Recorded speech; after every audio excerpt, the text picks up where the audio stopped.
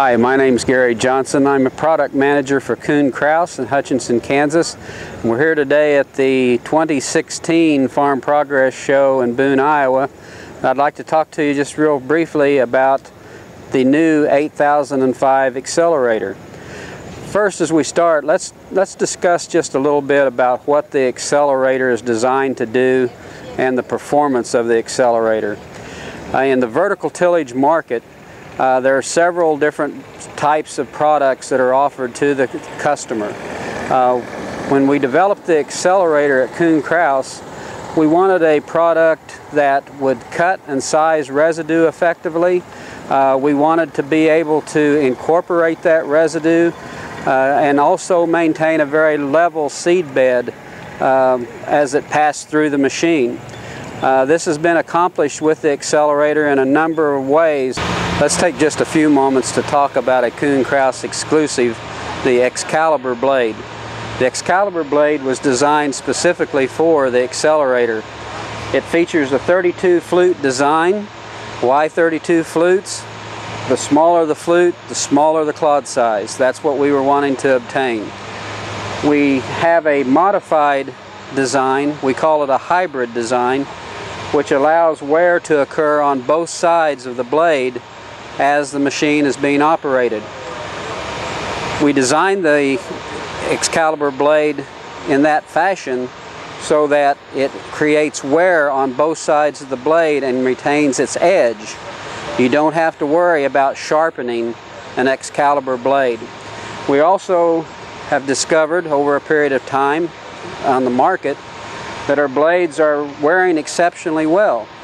Um, while these ranges will vary among operators, we're finding on 30 foot machines that we are obtaining anywhere from 15 to maybe as high as 20,000 acres per blade uh, on a 30 foot product.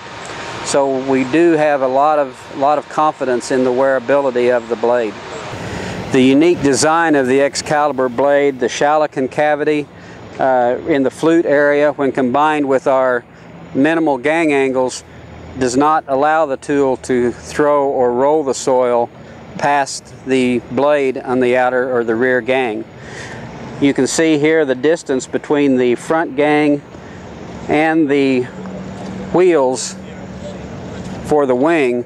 There's a considerable distance right there for soil flow. Gives the soil a chance to land ahead of the wheels and settle down before it's hit with the rear gang. Now again, the rear gang of the Excelerator does not have any taper blades out past the outer blade. We're not throwing soil past this blade right here, so there's no need for taper blades or anything that would have to pull soil back into the center of the machine. This is also gives us a real advantage when it comes to setting your RTK or your GPS on your tractor for your cut width. If Kuhn Krause sells you a product that's a 30 foot cut width, that's exactly what you're going to set your guidance system for. The star wheel treader attachment performs several functions that are key to the operation of the Excelerator. Number one, they will level or move soil laterally behind the machine for improved leveling. They do some clod sizing and then probably last most important is the anchoring or tucking of residue, the incorporation of the residue behind the machine. This is very important as you can imagine with uh, wind-driven uh, residue, uh, even water uh, erosion to some extent. Uh, this all helps prevent and limit that loss. The final component on the Excelerator is our reel attachment on the, on the rear of the machine. We have two styles of, of reel weldments. We have a round rod reel weldment uh, that might be uh, beneficial maybe in a more uh, stone environment or if you have a lot of rock. Uh, it does seem to hold up well in those situations. We also have a flat bar reel. Uh, again, another, it's a heavy duty version. Uh, it's a little more aggressive. Uh, something that might be used maybe in the springtime ahead of planting. Uh, it's, again, it's a little more aggressive reel, uh, does some good clod sizing. But I think the primary function of the reel behind the machine is not only clod sizing but also firming that seed bed just, just a bit. Uh, we want to have a good firm seed bed to plant in uh, when the time comes and the reels provide that for us.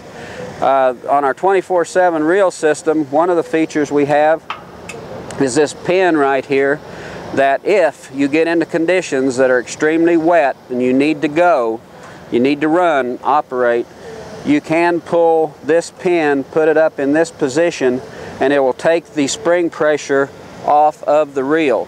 So you just have the weight of the reel rolling behind the machine. Uh, this can increase your field time, uh, run time uh, tremendously if you utilize this simple adjustment. A new feature for the 8005 Excelerator will be no daily grease maintenance. The new bearing featured in the Excalibur gangs is a new Pier Till Extreme bearing that features a six lip double seal um, to help protect and keep the grease inside the bearing. Uh, no daily greasing is required. A unique feature to Kuhn Krause is the addition of an outer sleeve or housing that the bearing will set in inside the casting. This helps to align the bearing more perfectly to varying field conditions and helps to keep preload to an absolute minimum. The 8005 Excelerator also features a new scraper bar system, a new scraper mount has been designed for the unit. It changes the angle of the scraper bar just, just ever so slightly from the 8000, its predecessor. The bar is made out of spring steel as well as the actual scraper bar. The scraper bar has been lengthened and is also made out of spring steel. Again, maintenance-free bearings have been a, a huge uh, asset to the 8005 Excelerator and we didn't leave out the reels. On the back of the machine, the reels still feature the Pier Till Extreme no daily grease maintenance bearing, just like the star wheel gangs that we talked about earlier. So from the rear of the machine, the gangs, the star wheel gangs, the reels, none of those items require daily grease maintenance. In fact, on the 8005 Excelerator, you may be surprised to find out that really about the only thing you need to grease and maintain are the wheel hubs themselves.